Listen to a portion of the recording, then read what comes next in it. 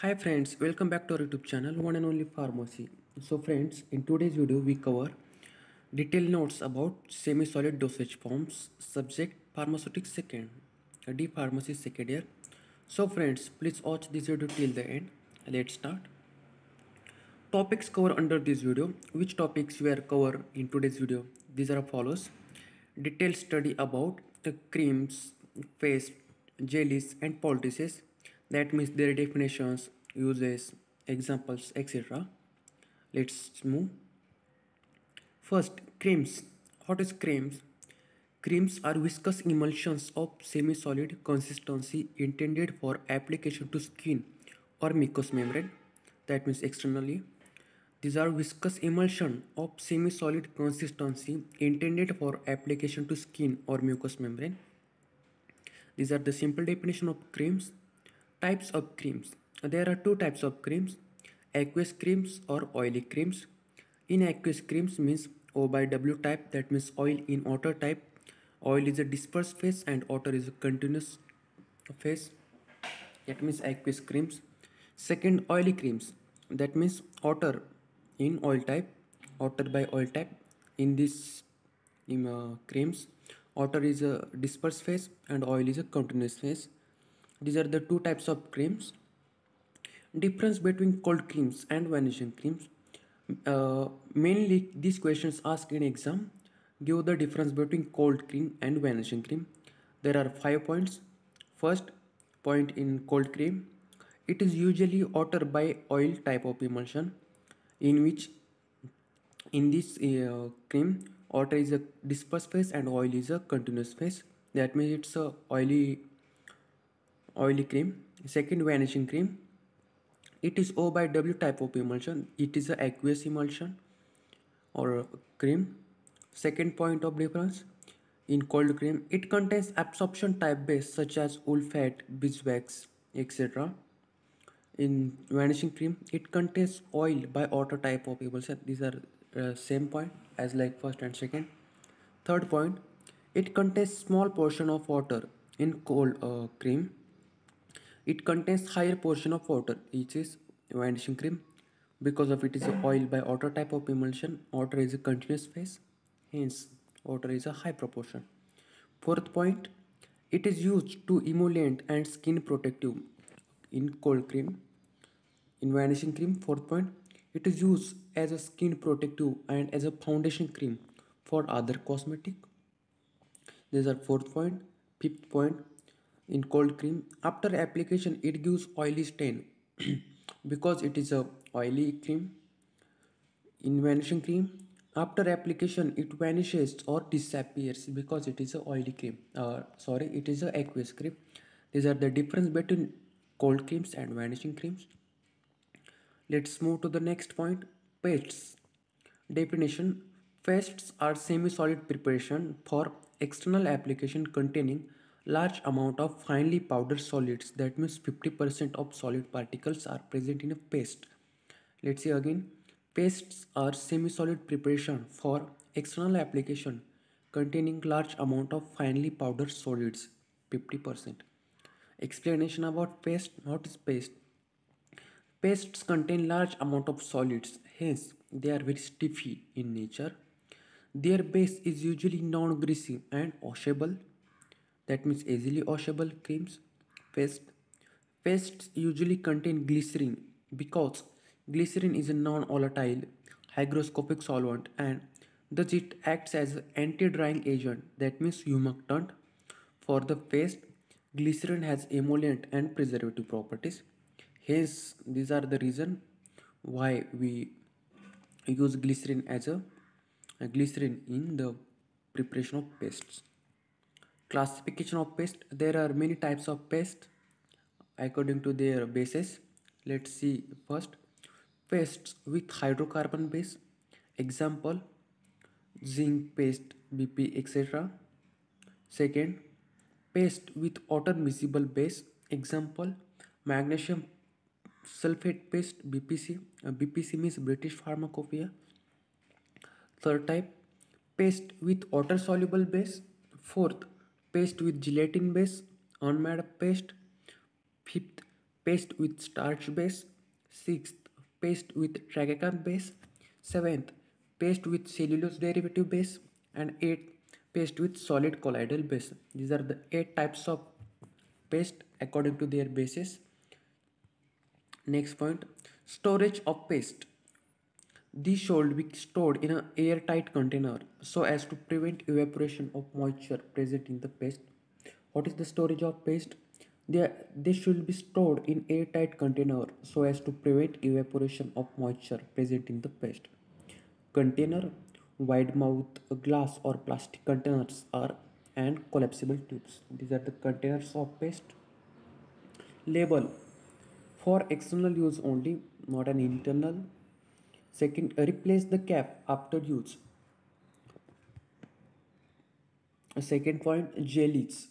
Definition of jellies Jellies are thin, transparent, non-greasy, semi-solid preparation used for external application to the skin or mucous membrane.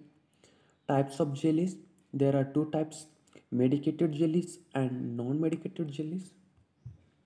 Uses of jellies. First use, they are mainly used on mucous membrane for their lubricant, antiseptics or semi-spermicidal jellies. Second, Vaginal and contraceptive jellies are also commonly used. Explanation about jellies. Jellies are easy to apply and the evaporation of water content produces a cooling sensation to the skin. After evaporation of water, contents remaining behind stick well to the applied area giving a protection. Preparation of jellies. Pharmaceutical jellies are usually prepared by adding a thickening agent such as tragacanth, pectin in an aqueous solution to which drug is dissolved. These are the preparation of jellies. Container of jellies. Collapsible tubes are very uh, are very used for this purpose. Containers containing jellies should be well filled to minimize evaporation of water, well closed and stored in a cool place to prevent drying. Label for jellies for external use only stored in a cool place. Replace the cap after use. These are the label. Last point about the topics. Poultices or cataplasma. Definition of poultices these are soft viscous wet masses of solid substances applied to the skin for their fomentation that means treatment by warm moist application action in order to give relief from pain or reduce inflammation or in some cases to act as a counter irritant. Let's see once again what is cataplasm or poultices. These are soft, viscous, wet masses of solid substances applied to skin for their fomentation action in order to give relief from pain or reduce inflammation or in some cases to act as a counter irritant. Uses of poultices or cataplasma. It used as a anti-inflammatory agents. Second it used as a analgesic. Third it used as a counter irritant. And fourth to draw infectious material from diseased tissue. These are the uses of poultices or cataplasma method of application of cataplasma how cataplasma is applied poultice is heated in a dish with occasional stirring until the heat is tolerated only to back to the hand. Poultice is heated in a dish with occasional stirring until the heat is tolerated only to back of the hand. Then it is spread thickly on dressing material and apply as hot as the patient can bear it to affected area which is sometimes first covered with muslin to facilitate removal after use. Third point, Poultices must retain heat for a considerable time because they are intended to supply warmth to inflamed parts of body, therefore act as counter irritant. These are very simple method of application. Uh, storage of poultices stored in a tightly closed container, label for external use only. Example of cataplasma or poultice. Example of poultice, kaolin poultice IP. What is the content of kaolin poultice IP?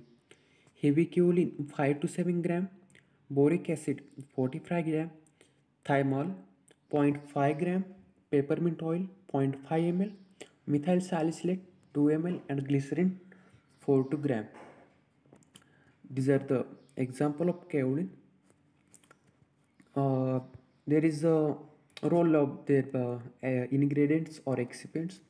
Kaolin what is the role of kaolin retains heat and gives out heat slowly and uniformly. Role of glycerin. Helps to draw infectious material from tissues. Role of methyl salicylate as an role of thymol bactericide that means kill the bacteria boric acid weak antimicrobial agent peppermint oil flavoring agent. Thank you guys for watching full video till the end. So friends if you're new on the channel so please like share and subscribe to our youtube channel for pharmacy related videos. Thank you guys. Let's see what we learn in today's video. Example of poultices that means kaolin poultices or role or role of their excipients. Storage conditions of cataplasma label conditions of cataplasma or poultices method of application of poultices definition and uses of poultices container of jellies label for jellies explanation and preparation of jellies definition types uses of jellies storage of pastes container label classification of paste according to their basis a definition and explanation about pastes difference between cold creams and vanishing creams. Creams a definition and types of creams. There are two types aqueous creams or oily creams. Aqueous means uh, water is continuous phase. In oily creams water oil is a continuous phase and in aqueous water is a continuous phase. Thank you guys. We have covered four points in this video. Like creams paste jellies and poultices. Thank you guys. Let's meet in next videos. Don't forget to subscribe our youtube channel for pharmacy related videos